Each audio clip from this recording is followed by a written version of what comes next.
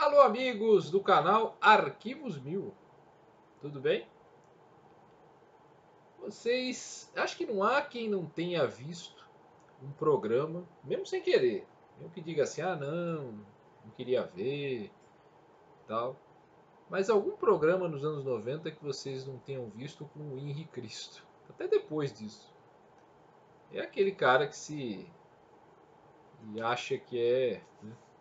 Quem ele acha que é. e, um e um dos programas que recebeu o Henrique Cristo, um dos tantos, foi o programa Livre. Vocês podem imaginar como ele foi inquirido lá no SBT, no programa apresentado pelo Serginho Groisman. E vocês vão poder conferir um trechinho dessa participação que eu imagino seja de 1998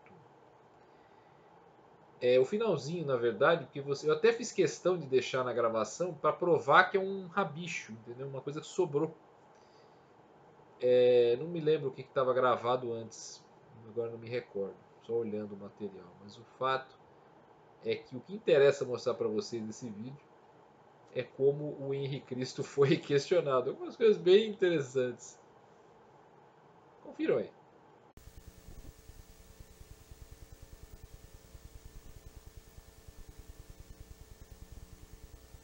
Criador Supremo. E Ele, como Criador Supremo, Ele tudo vê. E se tu olhar uma revista pornográfica sem nenhuma maldade, não é pecado. Agora, se tu tiver maldade, é pecado.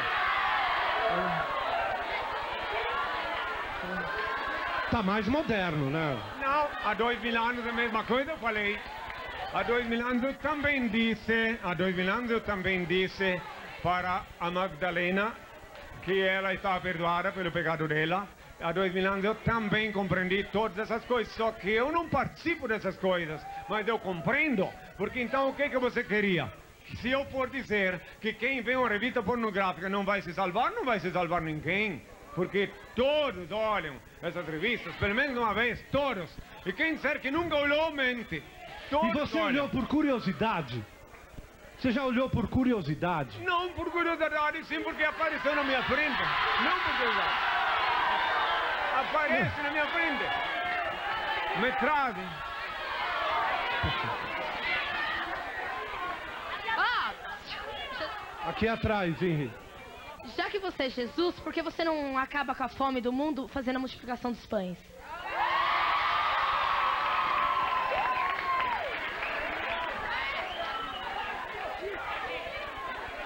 A fome, a fome, a fome do mundo existe em consequência da desobediência a Deus. Porque os homens, os seres humanos, violaram as leis de Deus e em vez de pedir para Deus pão, em vez de pedir para Deus chuva, pedem para estátuas. E daí Deus não atende. Se por exemplo, se por exemplo, se o Deus pedissem para Deus, ele atenderia. A estátua é uma coisa cega, surda e muda, não tem nenhum poder para dar chuva, por exemplo, lá no Nordeste. Eu percorri todo o Nordeste, eu vi toda aquela gente, coitada, sofrendo lá com fome, criancinhas, que, e, e, e que os papaizinhos estão pedindo para uma boneca. Henri, Henri. Henri. É o seguinte, o programa está terminando, a gente tem um tempo. Eu quero pedir uma bênção ao senhor Bartolo. Né? Mas é rápido. É 15 metros. Mas tem que ser rápido, porque Sim. senão não vai dar tempo, minuto. Tá bom. Só, só antes de você dar a sua bênção, o que é que você. Peraí, peraí, peraí. O que é que você achou porque você veio pregar e acha que as pessoas, pela voz, elas acreditam naquilo que você faz? O que, que você achou? Bem, meus filhos, só 144 mil unicamente no universo de 6 bilhões de pessoas, só 144 mil terão esta graça de saber que eu sou o Filho de Deus no tempo da reprovação. Está lá na Bíblia escrito. Então é claro que eu não espero que todos possam vir. São só 144 mil no universo de 6 bilhões de pessoas. Mas eu não quero que creiam em mim. Eu não quero. Eu não vim aqui para isso. Eu vim aqui me expor para que a humanidade, aqueles telespectadores que assistem esse programa, tenham oportunidade de ver. Agora eu vou pedir ao senhor a bênção. Tá bom, por favor. Porque sempre tem algumas pessoas aqui que merecem participar da bênção. Ó Pai, eterno e inefável, Deus infalível, Criador do Universo, das culminâncias do teu reino, do trono do teu poder, do alto do qual teus olhos temíveis tudo descobrem, tudo veem. Abençoe teus filhos com saúde, luz e justiça, porque tua é toda glória para todo sempre, ó Pai. Que a paz seja com todos. Henri, muito obrigado. Obrigado a vocês todos por terem vindo ao programa Livre. Obrigado a você. Tchau. Olha, aqui ninguém está discutindo religião, se você acredita, se você não acredita.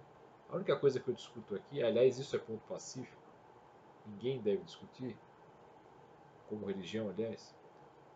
Curta, comente, compartilhe os vídeos do canal Arquivos Mil para que o canal cresça e apareça.